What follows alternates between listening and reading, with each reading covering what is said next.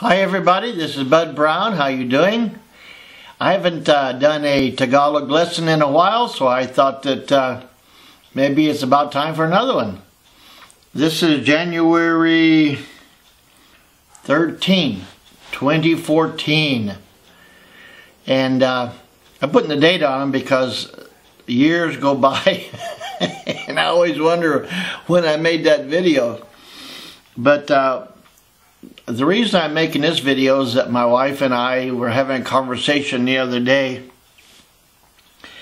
And uh, what's very common in bilingual conversations is that the two people that are having a conversation are talking about another conversation, and that other conversation is in another language, then you usually the person uh, that's having the conversation will be speaking one language, and then when they refer to the conversation of the other language, they'll switch to that other language. It'll be like this. Sabi ko sa kanya, where are you going? Sabi niya sa akin. Oh, I'm just going to the store. Sabi ko sa kanya, why are you going to the store? Sabi niya, it's none of your business. Sabi ko, okay then, don't get mad about it. Sabi ko sa kanya, I'm just asking. Sabi niya, well, I'm just going so you don't need to ask me. Sabi ko sa kanya, okay, take it easy. See you later. well, in Tagalog, I'm saying, I said to him, he said to me, like that. And this is how it goes. I said, sabi ko, to him, sa kanya. Sabi ko sa kanya, I said to him. Also could be I said to her, depending on the context, you'll know.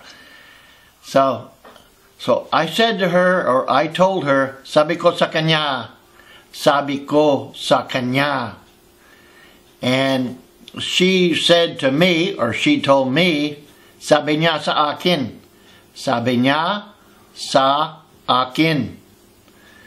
So, I told her, sabi ko sa kanya, hi.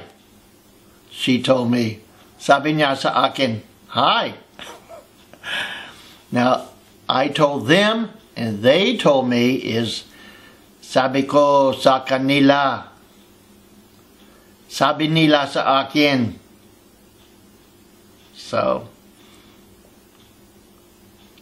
that's the way you say, I said, or I told her, she told me, I told them, they told me. One more review. Sabi ko sa kanya, sabi niya sa akin, sabi ko sa kanila, sabi nila sa akin. Talk to you later. Bye-bye.